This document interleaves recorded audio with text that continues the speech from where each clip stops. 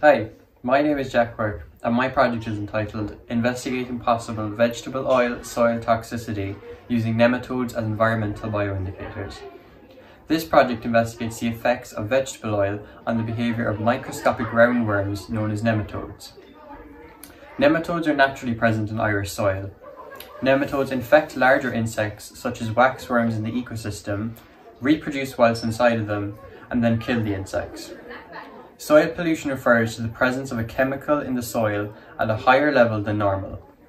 By 2020, one of the United Nations Sustainable Development Goals is to reduce the amount of waste released into the soil in order to minimise the adverse impacts on human health and the environment.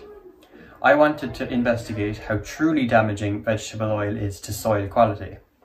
In my project, I'm investigating the ability of the nematode to infect its insect host and nematode reproductive rates, all under different levels of vegetable oil. My project ran over a 12-week period, incorporating four sampling points, with each sampling lasting for three weeks. During the first of the three weeks, the ability of the nematode to infect its insect host under three different levels of oil was recorded. The three levels were high oil, low oil, and a control with no oil. This was investigated by exposing waxworms to nematodes for seven days. Then, during the remaining two weeks of sampling, the nematode reproductive rate was recorded. This whole process was repeated four times over the 12 weeks.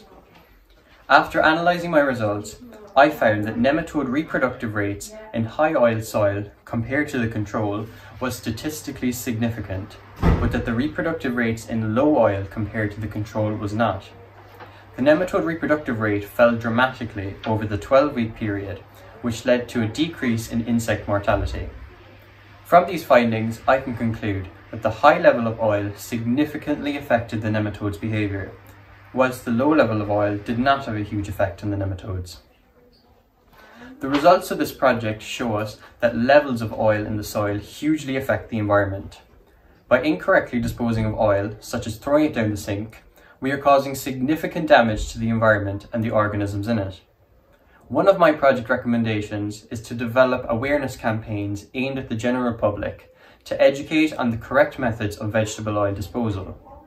I suggest that any leftover cooking oil should be left to cool and transferred to a plastic container which can then be disposed of safely. I hope you've enjoyed listening to this brief overview of my project. Thanks for listening.